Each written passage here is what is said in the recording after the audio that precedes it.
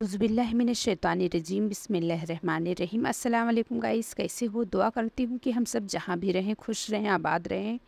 अल्लाह की रहमत और बरकतों से माला माल रहें। तो मेरे प्यारे प्यारे व्यूवर्स, आज हम लेके आए हैं बिना अंडे का आमलेट। हाँ गाइस, आज बिना हम अंडे का आमलेट बनाएँगे, लेकिन खाने में इतनी स्वादिष्ट, इतनी टेस्टी है कि जो हम अंडे से आमलेट बनाते हैं ना उससे कई गुना ज़्यादा टेस्टी है। बल्कि समझ ही नहीं पाएगा खाने वाला कोई कि इसको हमने अंडे से नहीं बनाया है। तो किन किन चीज़ों की ज़रूरत है गाइस? वीडियो में लास्ट तक बने रहिए, वीडियो स्किप करके बिल्कुल मत देखिए वरना बहुत कुछ आप मिस कर देंगे। वीडियो पसंद आए तो वीडियो को लाइक कीजिए और हमारे चैनल को सब्सक्राइब कर लीजिए, क्योंकि हमारे चैनल पर आपको इसी तरीके से वीडियो डेली को देखने को मिलती है, वो भी फ्री में। तो इसके लिए हमें पहले शुरू में तो बड़ा बर्तन लेना है। तो देख सकते हैं, हमने बड़ा कटोरा ले लिया, आप कोई भी बर्तन ले सकते हैं। उसके बाद में हमें इसमें मेज़रमेंट की ज़रूरत है तो इससे आप कटोरे से, गिलास से, कप से, किसी से भी कर सकते हैं। तो इसके लिए हमने एक कप बेसन लिया है। तो एक कप हमने मैदा लिया है, गाइस। एक कप बेसन, एक कप मैदा। उसके बाद में एक चम्मच देख सकते हैं, हमने काली मिर्च ली है। आप हरी मिर्च काट कर या कूट कर भी डाल सकते हैं। स्वाद के अनुसार हमने नमक लिया है और उसके बाद में हमने इसमें प्याज और हरे धनिए की भी ज़रूरत है तो उसको भी हमने बारीक बारीक कट कर लिया है। उसके बाद में हम इसमें पानी डालेंगे और पानी डालकर इसको अच्छे से हमें घोल लेना है। इसमें गुठलियाँ, लम्स बिल्कुल ना रहें गाइस, एकदम अच्छे से बढ़िया से हमें इसको घोलना है। और ना ही हमें इसको ज़्यादा पतला करना है, ना ही इसको हमें ज़्यादा मोटा रखना है, हमें इसको एकदम मीडियम घोल लेना है गाइस उसके बाद में घोलने के बाद हम इसमें अपना धनिया और हरा पे, जो हरा धनिया और प्याज है, इसको भी हम इसमें डाल देंगे और डालकर थोड़ा सा पानी और डालते हैं और इसको बढ़िया से एकदम घोल लेते हैं। तो इसमें हमें बहुत ही सीक्रेट चीज़ की ज़रूरत है, जो हमारा आमलेट जो है, एकदम जिस तरीके से हम जेनवन आमलेट बनाते हैं, उसी तरीके से बनने वाला है। तो इसके लिए हमने देख सकते हैं जो है खाने वाला सोडा लिया है। खाने वाला सोडा, बेकिंग सोडा जो भी हो गाइस आप डाल सकते हैं।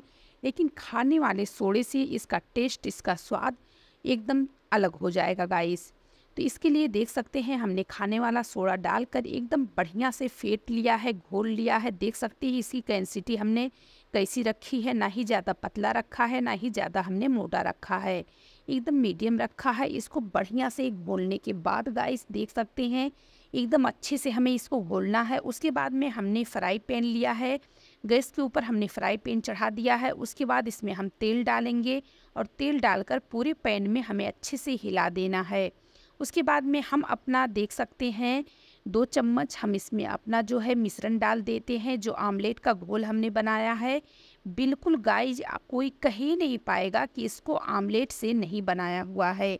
खाने में इतनी स्वादिष्ट लगती है कि अगर आप बच्चों को भी देंगे खाने के लिए तो बच्चे इतने पसंद से, इतने लाड प्यार से, इतने चार से खाएँगे ना कि आपको कहने की ज़रूरत ही नहीं पड़ेगी। एक तो गाइस बहुत ही बढ़िया से, बहुत ही स्वादिष्ट और टेस्टी से हमने इसको बनाकर तैयार किया है। अगर आप मिर्ची डालेंगे तो छोटे बच्चे जो है वो नहीं खा पाएँगे। लेकिन अगर आप काली मिर्च डालते हैं, जिस तरीके से हमने डाला है तो छोटे बच्चे भी इसको बहुत ही जो एक डेढ़ साल के छोटे बच्चे होते हैं, वो भी इसको आराम से खा लेते हैं।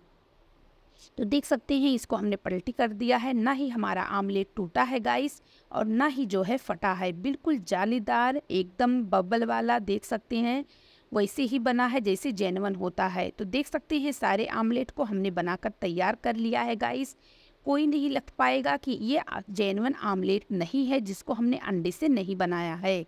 तो प्लीज़ गाइस अगर वीडियो पसंद आई हो तो वीडियो को लाइक कीजिए और हमारे चैनल को सब्सक्राइब कर लीजिए, क्योंकि हमारे चैनल पर आपको इसी तरीके से वीडियो देखने को मिलेगी। देख सकते हैं कितना जालीदार हमारा आमलेट बनकर तैयार हुआ है। बहुत ही बेहतरीन और बहुत ही टेस्टी गाइस एकदम यकीन मानिए, जब इसको हमने बनाया तो कोई लख ही नहीं पाया कि इसको हमने आमलेट से नहीं बनाया है। और इतना मुलायम, इतना सॉफ्ट गाइस कि एकदम खाने में इतना स्वाद है कि कोई कह कहीं नहीं पाता है कि ये आमलेट नहीं है। तो चलिए गाइस, इस तरीके से वीडियो जो है देखते रहिए और प्यार अपना हमें, हमारे साथ बनाए रखिए गाइस। चलिए इसी तरीके से फिर मिलेंगे नई वीडियो में नई रेसिपी के साथ। तब तक आप अपना भी ध्यान रखिए। और हमें भी दुआओं में याद रखिए। और इसी तरीके से रेसिपी जो है गाइस, बनाते रहिए, अपने घर वालों को, अपने बच्चों को खिलाते रहिए। चलिए फिर मिलेंगे नई वीडियो में। असलकुम